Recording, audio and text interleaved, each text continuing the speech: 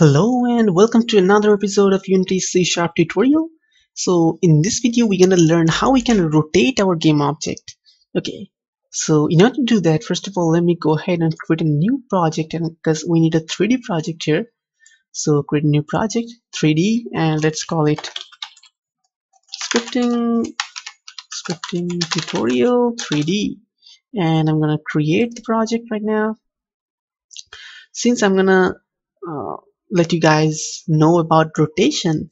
So it's better to do it in 3d because in 2d we, we are not gonna see the rotation when it is rotating in the z-axis okay. So here we have our 3d project. So first of all let me go ahead and create a 3d object cube. As you can see here we have a cube. Now let me create a add a script here new script and I'm gonna call it rotate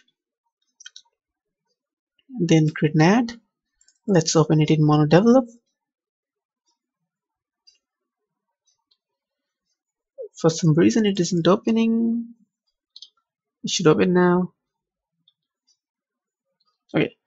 So the same way as we have seen in the last video we have used translate to uh, change the position of a game object the same way we can rotate it by using this rotation. So we have to access this rotation component.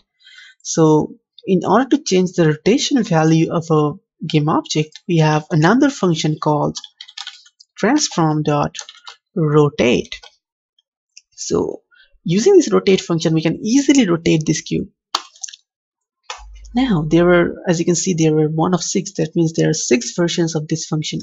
Among them if I just press the down arrow key we're gonna use this version where we have three things. We have to put x angle y angle and z angle. That means this x angle that doesn't mean actually the value of the x angle. It means how much by how much angle we want it to rotate per frame with respect to the x-axis and you will understand that after a few seconds so first of all let us try to first of all let us create another variable called speed.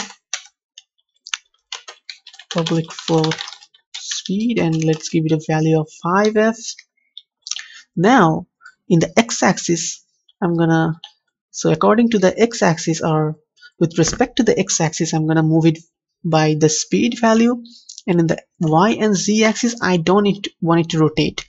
I want it to rotate with respect to the x-axis now I don't know what you guys would expect but if I go ahead and run this game right now as you can see it is rotating with respect to the x-axis if I take a look at here as you can see the x-axis is marked as red so this is the x-axis. So this cube is rotating around this x-axis as you can see okay? So the same way if we just move the speed from x to z if we move it from x to z now you can see that